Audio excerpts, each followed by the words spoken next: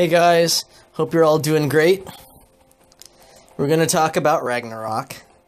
Yes, everybody, this is a Ragnarok episode. Anyways, uh, he's at 266 and he's ready to be sold off. Ragnarok, definitely don't want to bonus him anymore. Ragnarok might actually be the worst three star character. Like, serious one, not like a joke character like Howard the Duck or Bagman. I know those aren't three star characters, but I'm just using them as an example. I'm not quite sure what Ragnarok is supposed to be. Well, I know he's like a clone of Thor, literally, but in Puzzle Quest, he's just a terrible, terrible character. Um, interesting tidbit though, if history is correct, or if what I've heard is correct, he actually used to be good at one point. Um, I'll explain as we go through his powers on what, at least I've heard, was what the old Ragnarok used to be. Anyways, he has a lot of health though, I guess that's one thing. So he has 17,000 health, so he's definitely above the normal 3 star character. He is a green, red, blue, which is a little bit different than the regular Thor build, which is a green, red, yellow. His three powers Godlike Power, Thunderclap, Lightning Rod. So first is Godlike Power. It's 14. That's definitely pretty expensive. Uh, wait, a bit more than 12. You're gonna have to make another match, and yeah, it's not worth it. Ragnarok slams his hammer down, releasing a wave of electricity that scars the battlefield. Deals 1291 damage to all enemies and 535 to allies. Destroys a random column. Does not generate AP. That's three covers, five covers, uh, 14 green. Ragnarok slams his hammer down. Blah blah blah blah blah. Deals 2804 damage to all enemies. 535 to allies. Again, doesn't uh, destroys a random column. Doesn't generate AP. So, it's expensive, it doesn't do a lot of damage, it also damages your team, doesn't generate AP. Sucks. It, it just sucks. I mean, uh, Thor's green is way better, does more damage, doesn't damage your own party, and even though um, it doesn't destroy a column, uh, you know, that doesn't really matter because it's just better. So, godlike power is surprising because it also has minuses and it's just, just not very good. Thunderclap, it's red, it's a 6. Ragnarok gathers dark clouds and calls down a bolt of lightning, adds 3 blue tiles to the board, then deals 1156 damage for 3 covers. Uh, it turns out to be 4 blue tiles and 1669 damage with 5 covers. So, I guess if there's one thing about this power, it's cheap. Again, it doesn't really do a lot of damage. Uh, even at five covers, it's, it's not much. I guess the bonus would be that it adds blue tiles to the board, but um, yeah. Unless you actually have a better character that uses blue, it's not great. Um, last power, Lightning Rod. It's 8, it's blue. Ragnarok curls his hammer into the thunderclouds, where it absorbs the power of the storm, creates two green charge tiles. Catching the hammer charges the cyborg with electricity, giving him a burst of 1452 health. That's three covers at five covers. It's three green charge tiles and a burst of 2159 health. So, cost eight, not totally cheap. Creates green charge tiles, that's okay. And then it gives him a burst of health, not true health, but just a burst and it's really not all that much health too. So it's it's a pretty underwhelming power. Again, green is there for him to use godlike power, which really kind of sucks in itself. So there's just not really anything all that redeeming about this character. Now, from what I heard, the old build of Ragnarok from before I played, so I don't personally know, was that his red also created green. So his red and his blue created green, and that went to Godlike Power. I'm not quite sure if Godlike Power was actually stronger, but uh, from reading really old posts on the old uh, MPQ wiki, um, people used to talk a lot about Ragnarok being pretty a pretty okay character. So I think what might have happened is they just nerfed the hell out of him, and he just hasn't really done anything since. So Alright, I guess that being the case, let's fight with this guy. Uh, I don't really know any team that you'd really build around him. I think the only good thing that he does is generates blue because his red is kind of cheap. So let's think about that. I don't know. I don't know if he'll survive. He'll survive.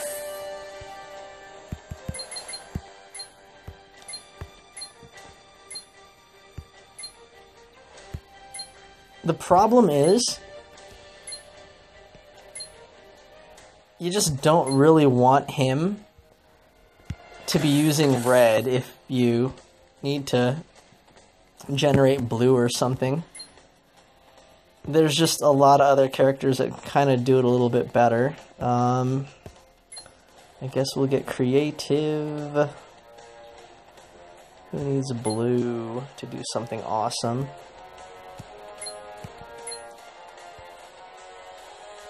Let's go Beast. Beast uses a lot of blue. And I would pretty much totally ignore green. Who, who creates red? Alright, well let's do Mark 40. I'm just using this team for, I don't know, maybe they kind of work together. What I would recommend is just don't use Ragnarok in your team there's really no team that you should use Ragnarok in. The only reason you should use Ragnarok is pretty much just to have Ragnarok as a character in your collection. So whenever Ragnarok does pop up in a PvE, you just have access to that to that node. But if for some reason you find yourself using Ragnarok, you're you're probably not doing it right.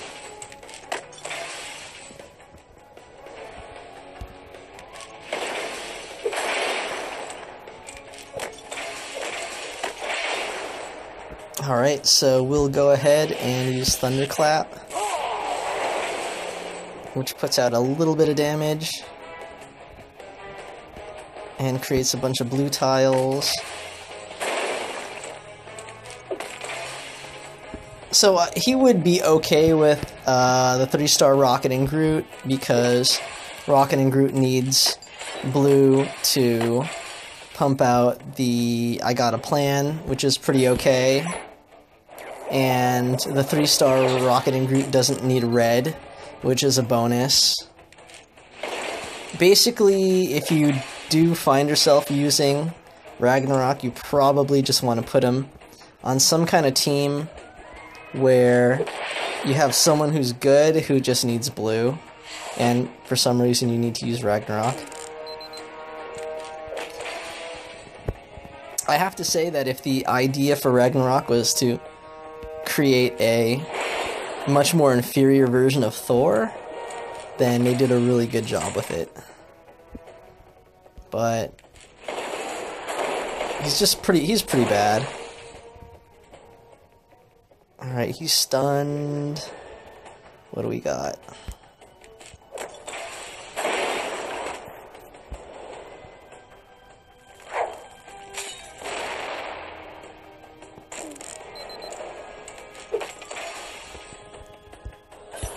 So yeah, just keep doing Thunderclap. Keep popping out those blue tiles.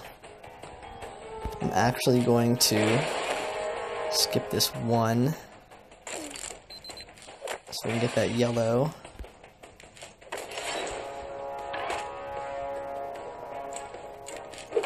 So just FYI, whenever you're fighting Thing in a party, you want to take Thing on first because if you don't, if you fire off some power against one of his allies, he's going to use his yellow on you, which is...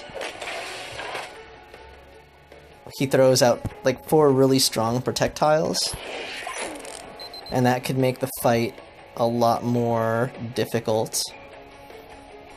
However, if you have Loki in your party, and you have a bunch of black, you can steal those protect tiles and turn them into strike tiles and just really whoop on the uh, opposing team. So that's actually a strategy that I've used quite frequently in this one particular fight, or basically any fight with thing. Ouch.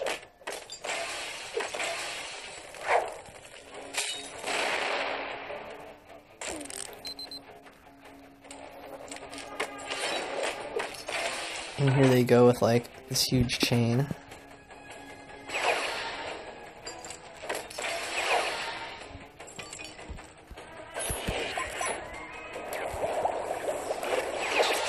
Alright, I'm not gonna use Ragnarok's blue. It'll give him a burst of health. I might as well just use it. Uh, we'll skip godlike power.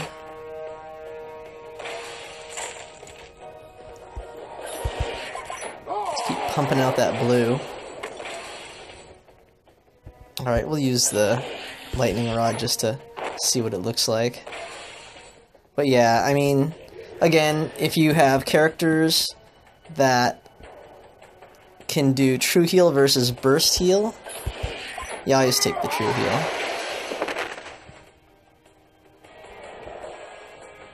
Alright, let's take out Punisher.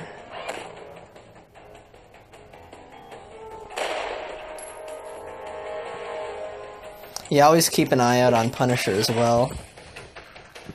You want to make sure that he's never going to be able to target a character who has less than like 40% health with Retribution, because otherwise he's just going to kill you.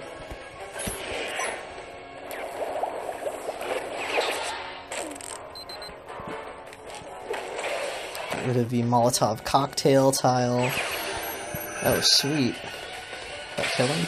Nope.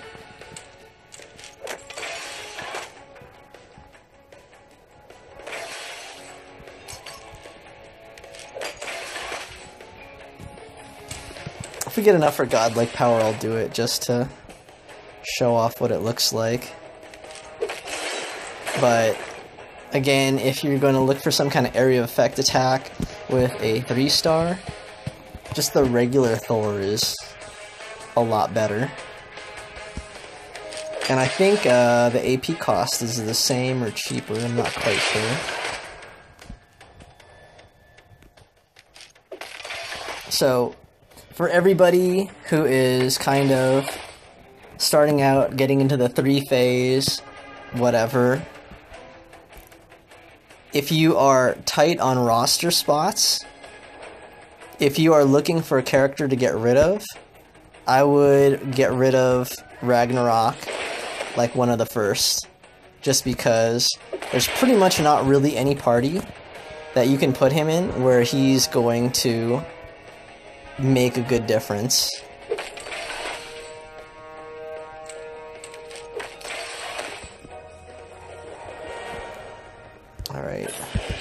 Ahead and hurt our own guys because that's what Ragnarok does. And the one column, like tile shuffle, it's like, meh.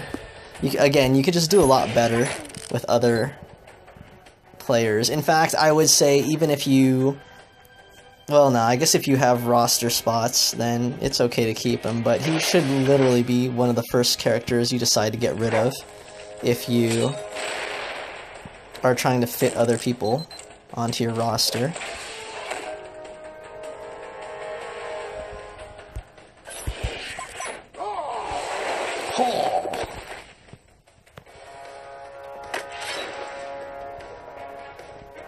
How much does he need for radar sense? 10. I'm not quite sure what the point of Ragnarok is, too. So he's not a quick hitter because his green takes 14, yet his red costs 6, so... He's just a really weird build.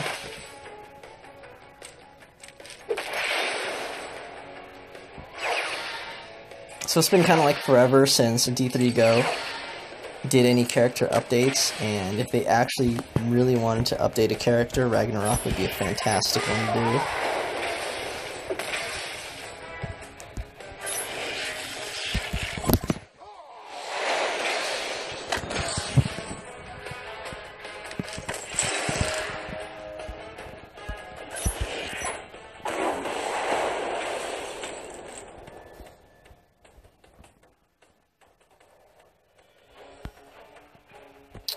Let's see. Here, I guess we can just keep doing this and getting a ton of green. And no, he's just gonna turn them into charge tiles.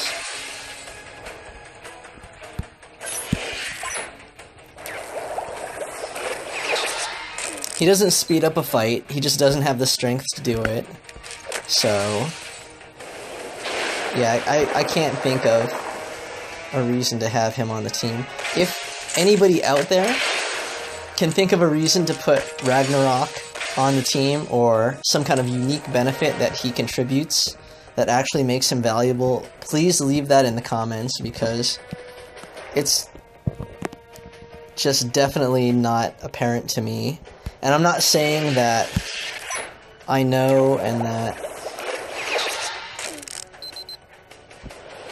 I'm right. I'm just saying that I don't know. So if there's something really cool about Ragnarok that I'm totally missing, let me know. But my perception has been that he's just about what the worst three-star character.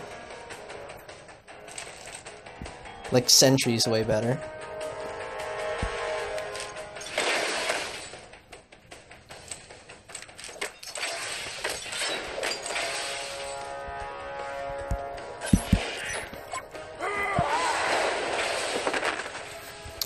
So that is Ragnarok. He actually probably would be a lot better with Rocket and Groot with uh, I Got a Plan because you could actually get some better damage out of his red attack with a whole bunch of strong strike tiles on the board. So let's go ahead and dump him.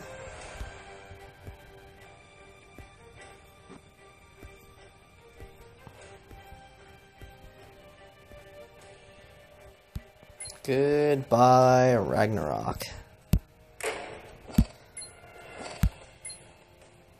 And again, if there is anybody out there who knows of some kind of really cool, unique thing that I am missing with Ragnarok, please let me know.